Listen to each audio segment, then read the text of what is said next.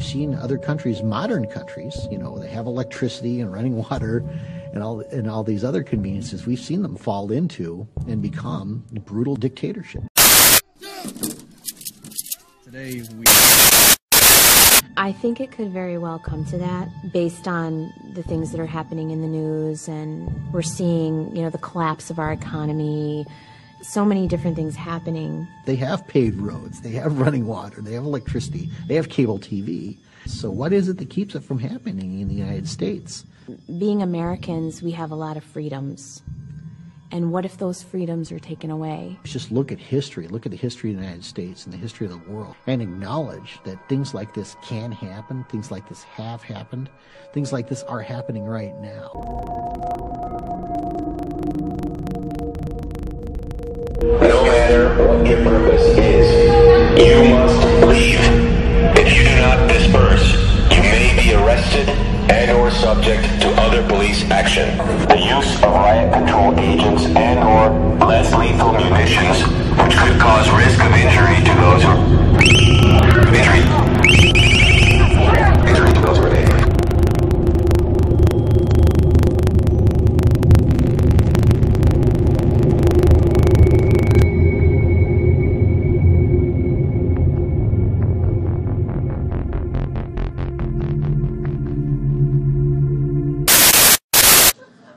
often joke about tensions between me and the press, but uh, honestly, what they say doesn't bother me. I understand we've got an adversarial system.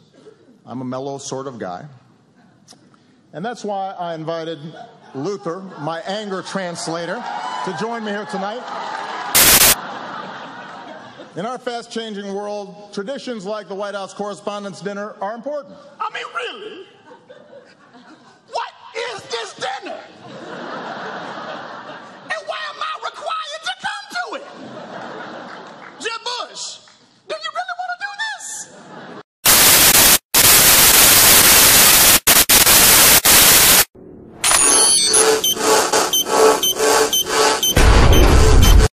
Greetings, citizens of America. We are anonymous. It has come to our attention that some of you are still ignoring the fact of the operation of Jade Helm operating in the seven states of the United States. When will you wake up? The economy is nearing a final collapse. The martial law beta is taking steps to finalize. How can you stay asleep from what is truly going on? Get off the televisions and start fighting with us for the purpose for humanity and freedom. Violence is so bad in one major American city that the governor is considering calling in the National Guard. We're going to take a closer look at what that really means.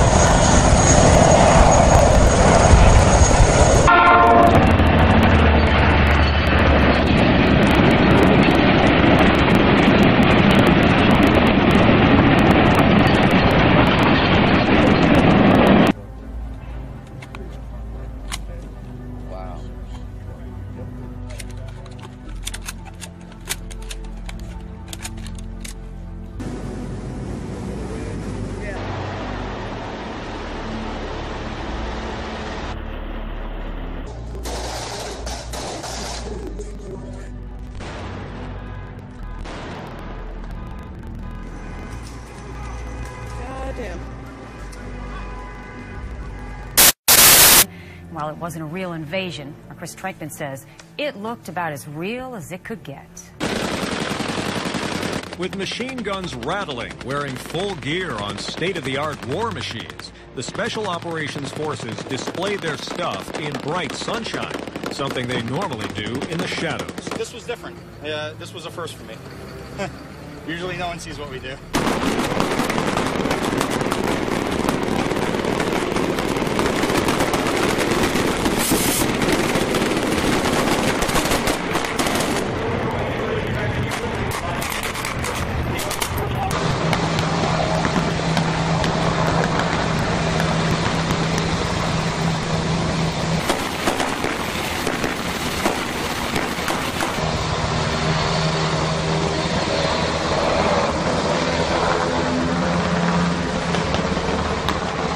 Part of this is to demonstrate what the city does so that, that if it happens in real life, people will have some understanding of what's going to happen.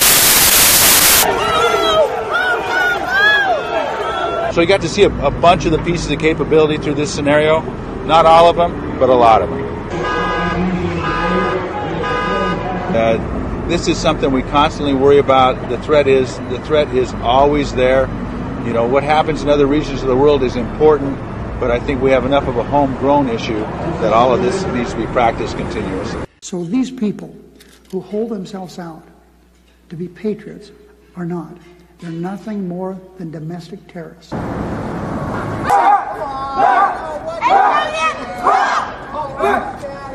not moving! Hey, move We We're moving! Hey, moving! My boy! I'm going in there! It seems like... I'm going in there! Looks like we got a problem here. What's the problem here? You gotta do something about it? They're training exactly for what Hey, is send gonna it! happen. Forward! Move! I'm a sovereign citizen. I refuse to recognize you guys. I refuse to recognize you. That was interesting.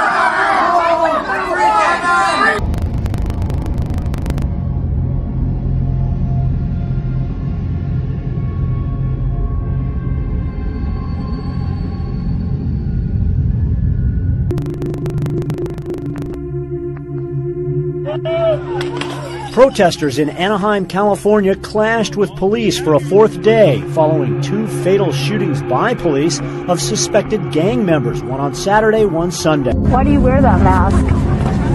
Because I'm scared. scared for my life and my family's life. One of the dead men, 25 year old Manuel Diaz, was apparently unarmed. If we don't use our voices and we don't let these people hear our voice, nothing will be changed. He was down and they shot him the second time. The people were supposed to be protecting us. The cops are the ones doing this.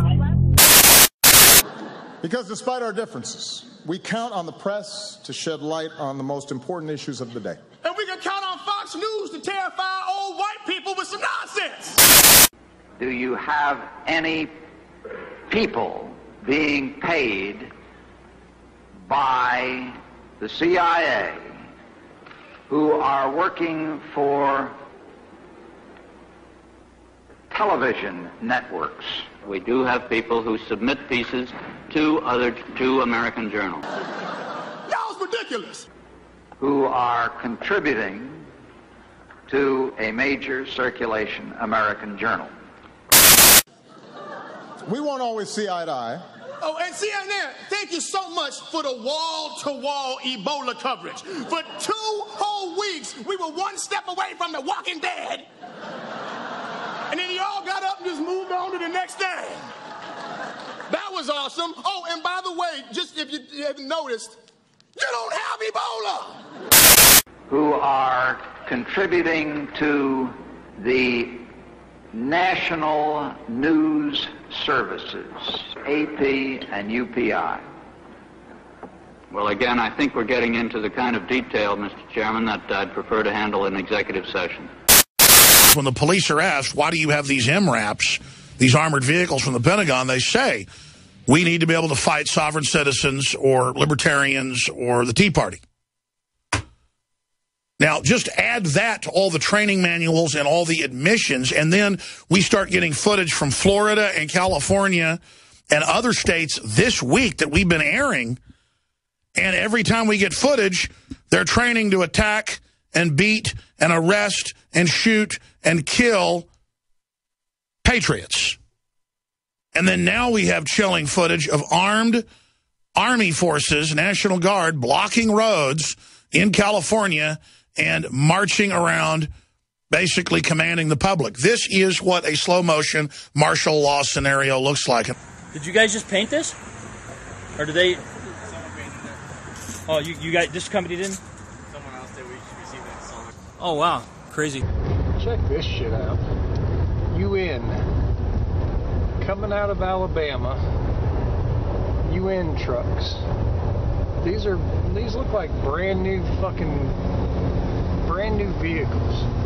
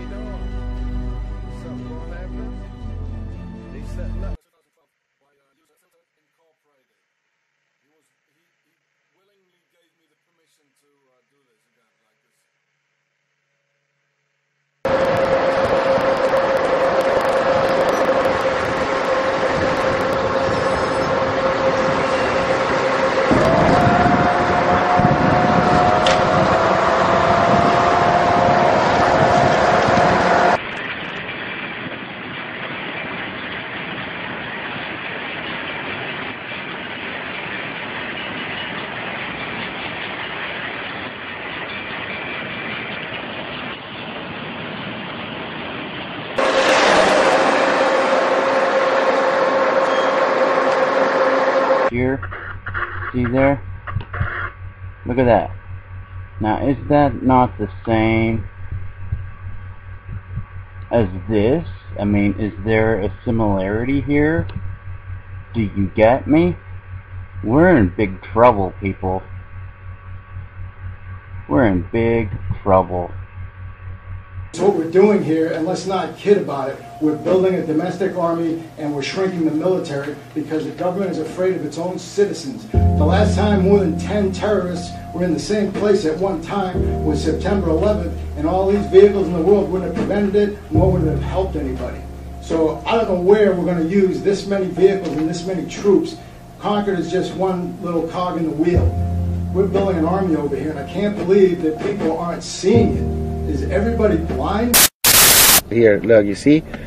This right here is the starting of the New World Order. So you can see uh, how they're about to, uh, they're training already.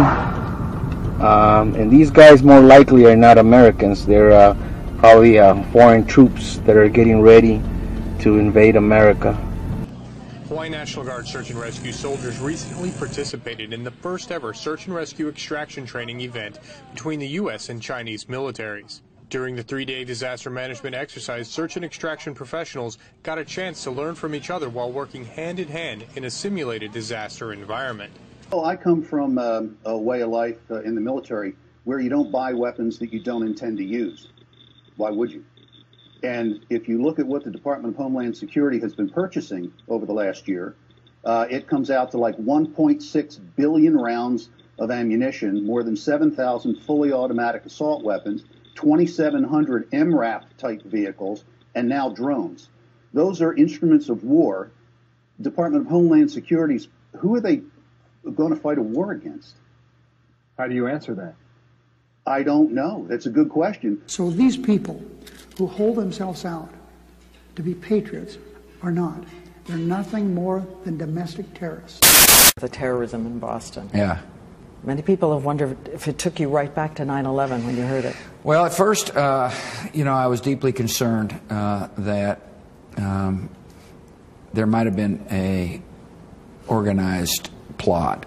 Uh, this could have been, um, uh, you know, another cons- uh, organized, highly organized attack on the country. Whenever they hold, have the files uh, about Area 51 and the UFOs, and I go through everything to find out what happened. Right. Did you do that? That's why you will not be president. It's at the, the top of aliens my won't list. let it happen. you reveal all their secrets. they, looked- they, they exercise strict control over us. Say, and of course, so did you look? Did you see? Did you explore? I, I, I can't reveal anything. Oh, really? Because President Clinton said he did go right in and he did check, and there was nothing. Well, you know, that's, that's what we're instructed to say. As I have gotten older, I have decided we really need camps for adults. And we need the kind of camps that you all run. I mean, really. I told you that I was going to tell you about the FEMA camps or the FEMA prisons today. This is something that I snapped on the air because somebody called me up and said, "Do you? Why don't you talk about the FEMA prisons?" And I said, "Can we just settle the FEMA prison thing?" I don't believe in the FEMA prison. If they don't exist, it's irresponsible to not debunk this story. We have an independent group of this program looking into it, turning over every stone. I am going to bring you this story. This program is not beholden. This is going to drive the, the conspiracy theorists let, the crazy. Let me of this. They're making me say this. Help. This program is not beholden to anybody. We answer to ourselves. I answer to me. I lost sleep last night worrying about this story, thinking about this story, and wanting to make sure that I got it right. The only thing that I answer to is myself. And I just want to be able to look at myself in the mirror and also sleep at night. It's happening right in the shadow of the Adrienne Arsht Center. Police right now have blocked off Biscayne Boulevard. If you take a look, swing back over here. This may be involved in this training or not. Again, let me tell you what all of this is that we know of. It's a joint military training exercise involving local police, also military, as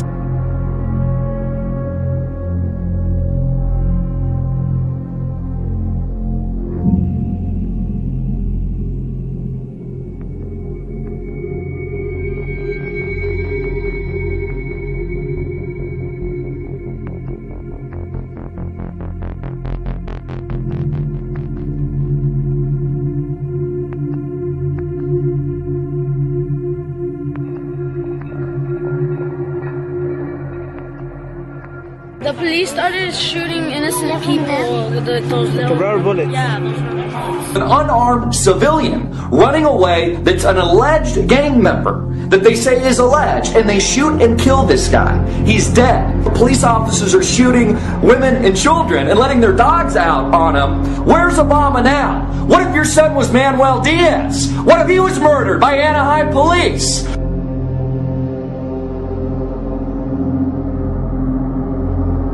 They just started running after people. The cops just started running after people. Yeah. and they can crush us. I mean, you've got Sheila Jackson Lee, who is calling for martial law. That's that's insane. That's getting rid of the Constitution of the United States. So we've got a government here that seems to be wanting to create the conditions that they want to take our Second Amendment. You know, they're they're going for the Second Amendment.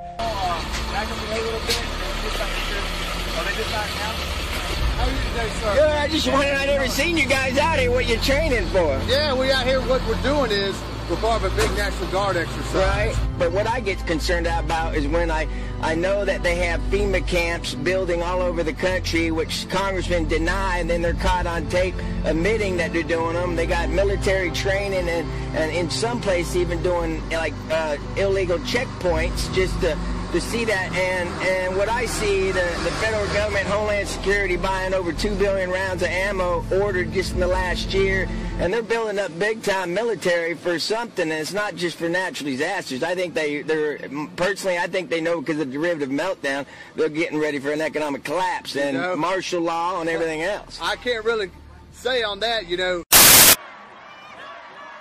The Bravo Fleet Marines training for riot control. Now, they always go under the guise that it's for overseas, but this is what they're doing in Virginia.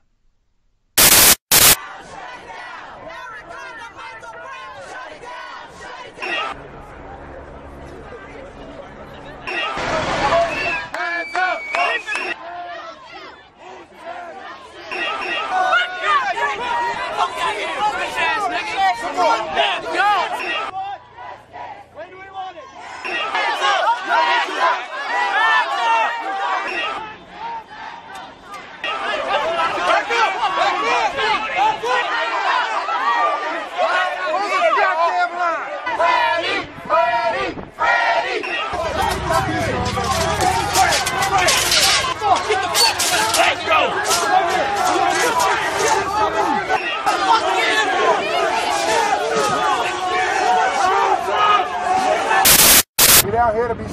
for justice and peace and be heard. Is that all right? Yeah, let me hold. How long do you expect us to be peaceful? Exactly. How long?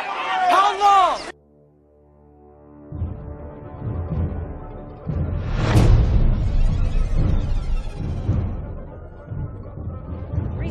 Reports published by WikiLeaks have revealed that the U.S. government is using highly advanced spyware to watch its own citizens. The system called Trapwire allegedly accesses, surveillance. But a hero to many. Army Private Bradley Manning is allegedly responsible for the largest government leak in U.S. history. After being held without charges for over two years, Manning's pretrial hearings finally started today. He's charged with 22 CIA Director David Petraeus is urging the White House to expand the agency's drone fleet. Petraeus said that the expansion will allow the CIA to carry on with its mission in Pakistan, Yemen, and possibly in They're North talking Africa. about inserting the Army into domestic law enforcement. Senator Lindsey Graham, who supports this bill, says, quote, the homeland is part of the battlefield, and people can be held without trial, whether an American citizen or not.